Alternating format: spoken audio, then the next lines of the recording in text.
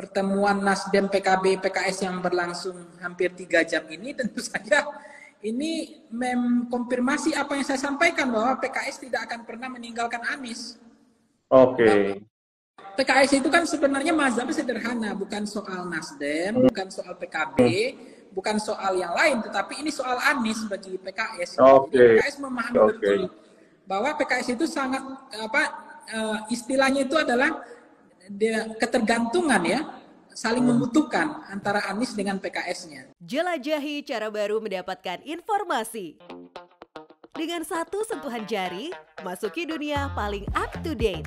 Hanya dalam satu news app, dapatkan pemberitaan Metro TV secara komprehensif, sekaligus ulasan jernih serta sudut pandang segar khas media Indonesia dan medcom.id. Makin lengkap dengan fitur audio untuk menemani hari Anda yang produktif. Jadi tahu paling cepat? Download Metro TV Extend sekarang.